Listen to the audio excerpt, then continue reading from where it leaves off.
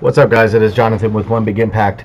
Uh, subscriber, if you're not subscribed, please subscribe. Just asked a question on how to do curve text. Okay, so the only way I know how to do curve text on the basic program without purchasing the pro is it's going to be a little bit different if you're wanting the text to actually like go around like in a straight line like right around here then unfortunately I don't know how to do it and I don't think you're able to do it on here and I think that's one of the reasons that they try to get you to purchase uh, the Pro. But if somebody does know for some reason um, feel free to let me know. But this is how I know how to curve the text okay? So just put BSTYE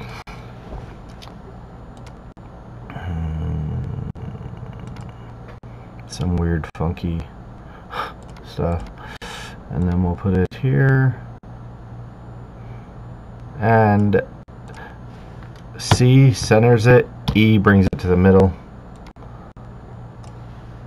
C centers it and then I'll just bring it right down. Right there. The only way I know how to do this is you have the image clicked you come over here to flag distort flag and then you grab this little node here is what they call that and you can bring it down like that. To that point. Okay. So that you can do that to kind of get an idea what that looks like. You can also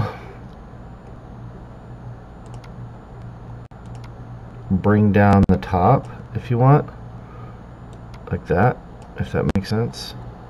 And the only thing is do you see how it's kind of like I can't get it perfect to like wrap around the deal there.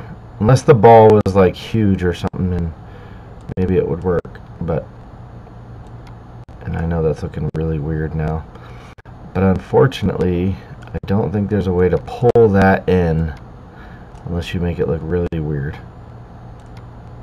So uh, let's look at what it would look like like what looked best I think like that would be something that would look best. Obviously that text is kind of whack but that would be the extent of what I know how to do. Um, and then you could put like something at the bottom as well.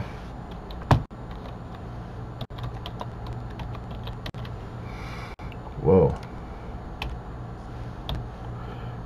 What?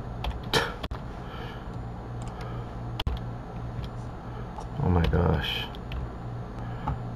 and switch it again to that weird ass text. And then you can bring it centered.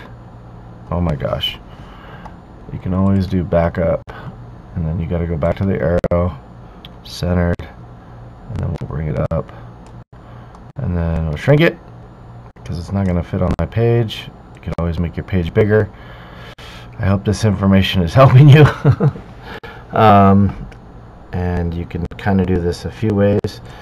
I mean realistically like this one looks like it needs to be bigger now. I don't know. And then you can grab this one and kind of bring it up to it. So it'll look a little I don't know more universal. Looks like this ball needs to be a little bit bigger. That might be part of the problem just trying to show you what it what it would look like if it was possibly an actual logo something like that. It could be like any number of things but that's kind of the only way I know. You can't actually get it to physically wrap around for some reason but you could do a lot with that. Um, if you do find out a way just let me know. Please subscribe. Have a good day guys and if you have questions I'll do my best to answer um, yeah. Thanks for watching